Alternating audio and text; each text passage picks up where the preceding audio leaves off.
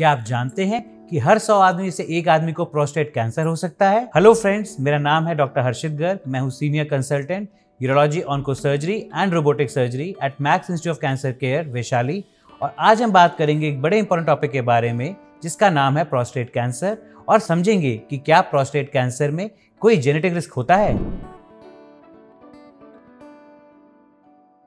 Prostate एक gland है जो कि हमारे ट्रैक में होता है और ये ग्लैंड हमें यूरिन पास करने में हेल्प करता है।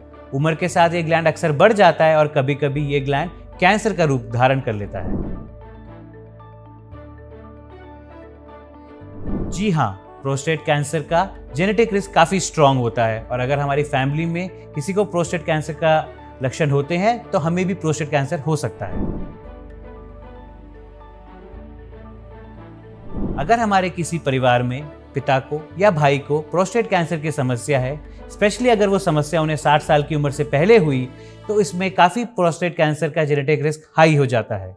इसके अलावा हमारे घर में, परिवार में किसी को पैनक्रियास कैंसर कोलन कैंसर या फिर महिलाओं को ब्रेस्ट कैंसर यूट्रस का कैंसर या ओवरी कैंसर है तो इन सब कारण से भी हमारे में प्रोस्टेट कैंसर का रिस्क बढ़ सकता है।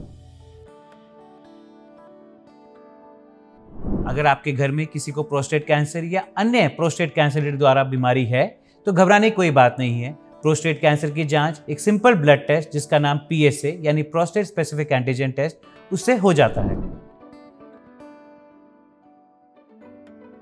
पीएसए टेस्ट आमतौर पर 55 से 70 साल की उम्र में हमें कराना चाहिए, लेकिन अगर आपके घर में किसी को प्रोस्टेट या कोई रिलेटेड कैंसर है तो उस केस में हमें प्रोस्टेट कैंसर की जाँच जल्दी करानी चाहिए।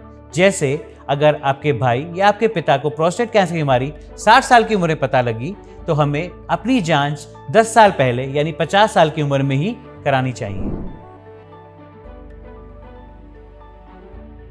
अगर हमारा पीएसए टेस्ट बड़ा हुआ आता है तो हमें घबराने की कोई बात नहीं है। पीएसए टेस्ट बड़े आने पर हमें अपने डॉक्टर से कंसल्ट करना चाहिए और एक तरीके से इलाज करना चाहिए, जिसमें कुछ टेस्ट और बायोप्सी करनी पड़ती है।